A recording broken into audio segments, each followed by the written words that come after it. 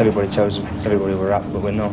Uh, there's a long way to go, and uh, we just got to keep playing the way we're playing, and uh, you know, I don't think we're up too much because we're, we're, definitely not up. We've just got to keep the gap between us and Tranmere and all the other teams, and uh, I'm sure if we keep playing the way we're playing, you know, nobody can stop us.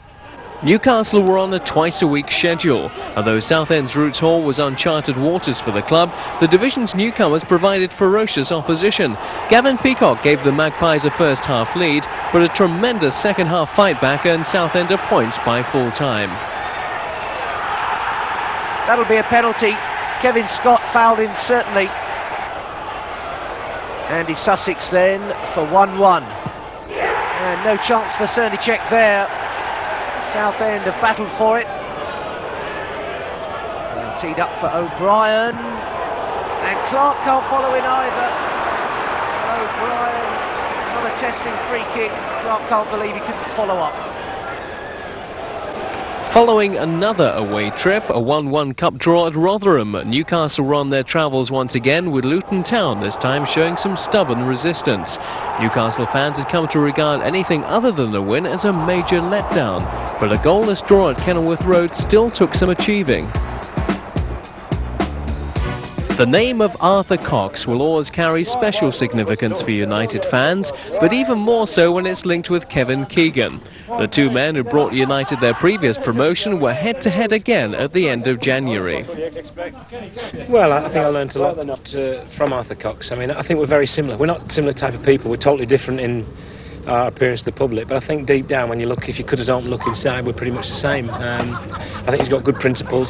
He, he's an honest man, works very hard and I like to think that that's what we're trying to do here, and all my staff are, and uh, so a lot of that's rubbed off.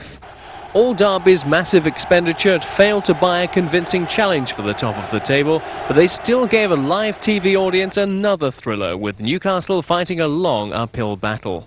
Medini's got the cross in, and Johnson! Tommy Johnson, 1-0! It's a dangerous cross, Clark couldn't reach it against the upright. Oh, how close can you get? It's a tremendous ball through the middle for Gabbiadini. Srnicek, he hasn't done enough. Over the top, what a waste. Now, Robert Lee well into stoppage time now. And O'Brien's in the middle, and O'Brien, the equaliser, 1-1, Liam O'Brien. Newcastle had so nearly clawed their way to promotion three years before under the stewardship of Jim Smith. One of the league's most popular and respected managers, the Bald Eagle had moulded another team ready to challenge for the top, this time at Portsmouth. Fratton Park was the sort of ground where they only had memories of glorious times. But in another mighty contest, Newcastle found the famous Pompey chimes were ready to ring out again.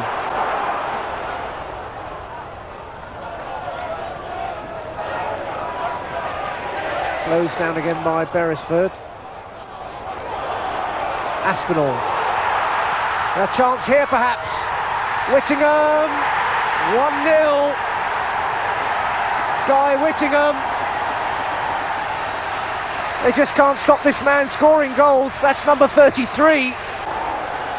Kelly right the way back there because Kit Symons has gone forward. Beresford on the post. Maguire is up there as well. Wolves with a little touch. Oh, what a goal by Symons! Kit Symons went up for the header that came up with a shot that would please any centre forward. Very little in it on the play of the second half. Newcastle probably shading it rather, but still not able to produce that goal. Kelly flicking it on.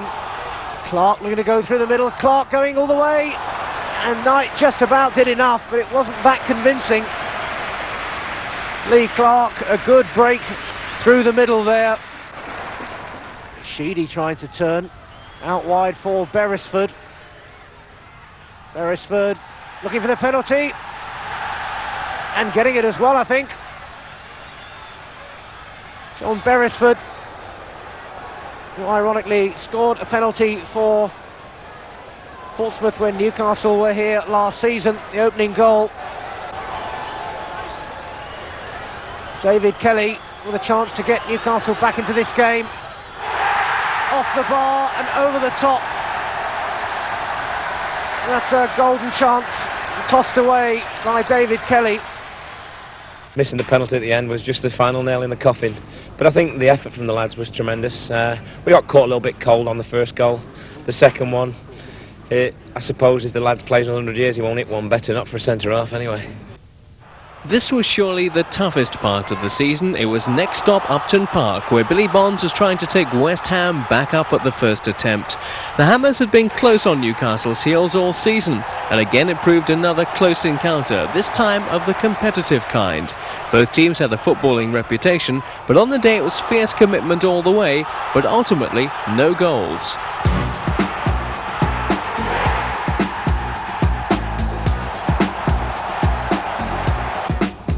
After such a programme, bottom of the table Bristol Rovers at home were supposed to offer a less demanding chance of three points. But under the short-term guidance of that wily veteran Malcolm Allison, Rovers soon made light of the length of the First Division that separated them. Even Keegan's highly motivated troops found it hard to get going for this one. Stalemate and frustration.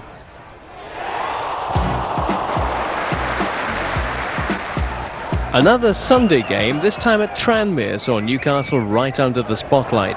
Rovers were United's third away game in a row against promotion rivals, and the Tynesiders had a meagre three goals and two points to show from their previous six games. As throughout the season, even live television coverage couldn't deter another massive travelling support. The Toon armies saw their devotion rewarded in emphatic style.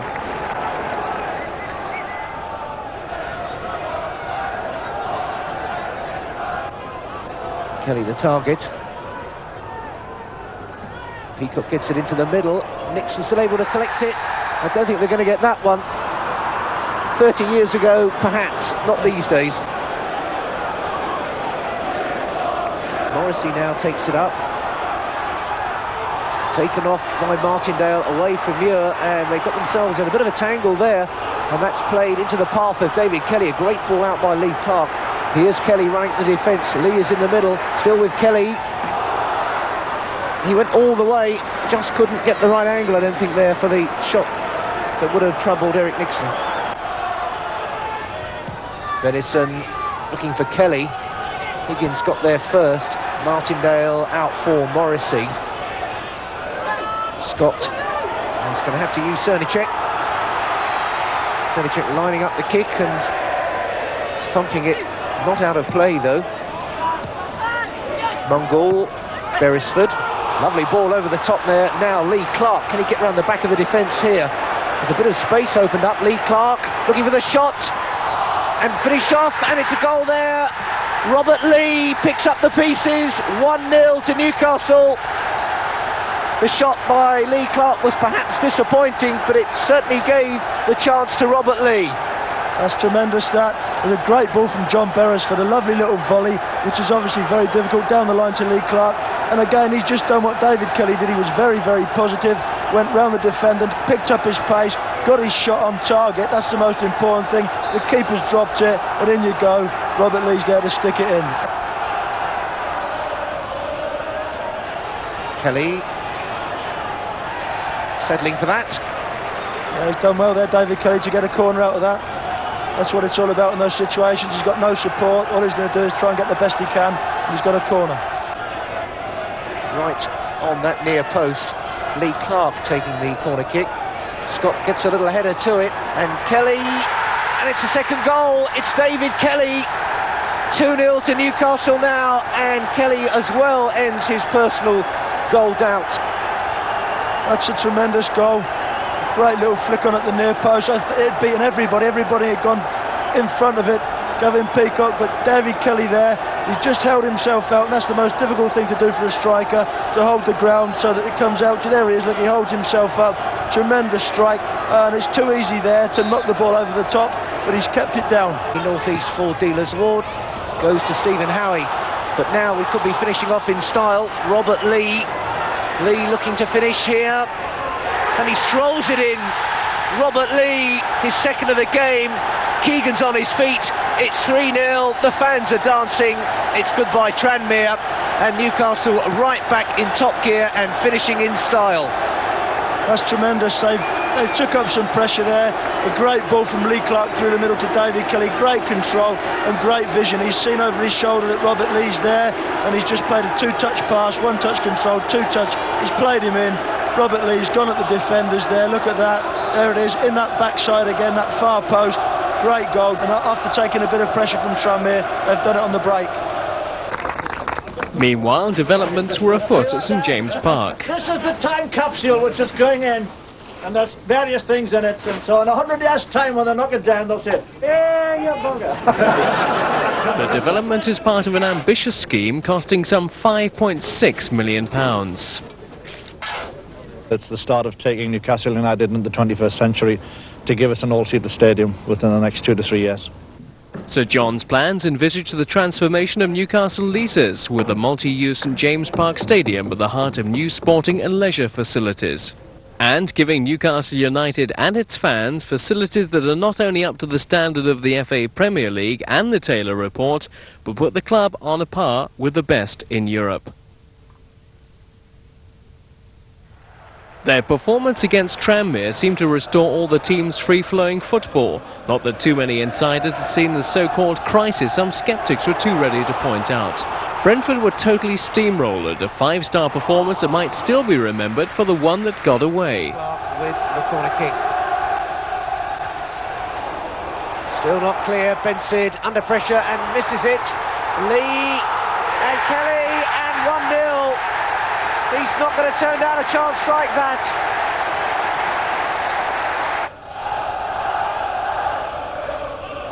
Beresford again, looking a free kick forward, little flick from Kelly to Lee Clark. Clark gets face to face on goal, it wouldn't fall for Stimson. And back there for Bracewell. 2 0. So simple, so effective by Paul Bracewell. Bracewell again, working in closed conditions. Kelly, all bouncing awkwardly, and Lee Clark. That's three. It's Lee Clark now. Newcastle running riot. Nobody wants to miss out. Lee Clark takes a bow.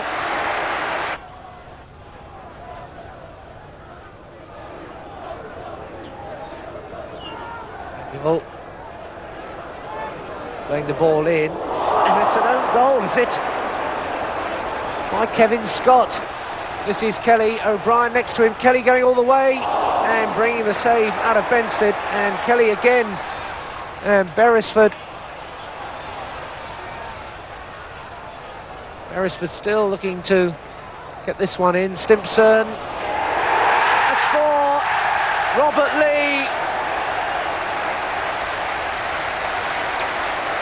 No stopping Newcastle again, and a goal of stunning simplicity.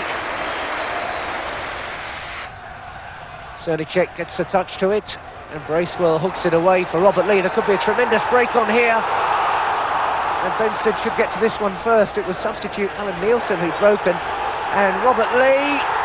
And is he going to go in? That is a sensational goal from Robert Lee. I don't think the referee's going to give it now.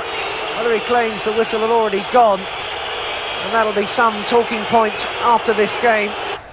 Beresford. Clark made the run. Can he make it count? Clark. It's five this time. And no mistake by Lee Clark. There's nothing to hide his head for. But the smile tells the story. David Kelly takes the ride. And Lee Clark, oh, it's all fun and games now. So, five goals had the Gallowgate ecstatic, but Robert Lee wasn't celebrating after his wonder goal was disallowed. The keeper came out of his goal, he kicked it to me like just past the halfway line. I, I chested it down and like volleyed it with my left foot straight in the goal. And for reasons that beyond me, the referee's given a free kick to us. And um, I mean, I said to him, it's the worst decision I've ever seen. And uh, I mean, I've been playing nine, ten years, and it is the worst decision I've ever seen. Lee's bitter disappointment was understandable enough, but in fairness, referee Ian Hendrick had just blown for offside against Brentford. This still shows Barry Venison appealing at the top. The referee has the whistle in his mouth, and Lee is still to shoot. It must have been impossible to predict such an advantage. Not many players could have matched Robert Lee's reaction. It was just a crying shame.